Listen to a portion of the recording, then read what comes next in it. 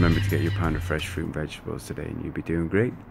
You'll be doing great. So today is just a quick uh, video, just to talk about um, calorie counting. Calorie counting is a fallacy.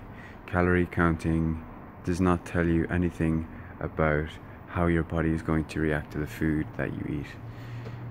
You can eat as many carbohydrates as you like, and you will never ever need to calorie count again.